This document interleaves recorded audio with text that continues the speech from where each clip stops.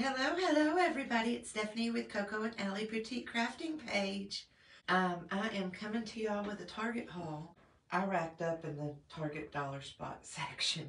And so I wanted to show y'all what all I got so y'all can be watching to see what I do with all this stuff. They have some really cute things. Um, the first thing I got was, and this wasn't in the dollar spot. I just found these like in the Easter section.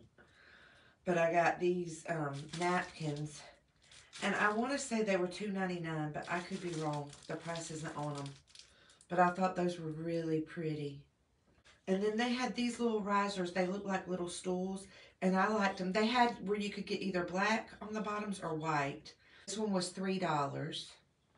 And then I got this one. It's the same thing. It's just taller and, and bigger around. Yeah. And this one was $5. So I got both of those. And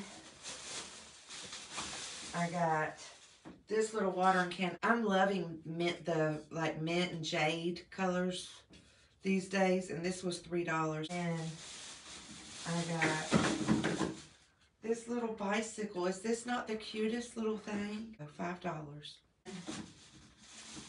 Y'all, are these not the prettiest paint colors? Um, this one's salmon.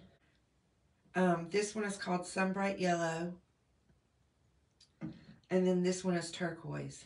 But I think these were 99 cents in the craft section. And then I got this because I just told y'all I'm loving the mint and jade. So, anyway, I just wanted to show y'all those few things. Y'all be watching because I'll be showing y'all um, what I do with this stuff too. Bye-bye. Love you guys.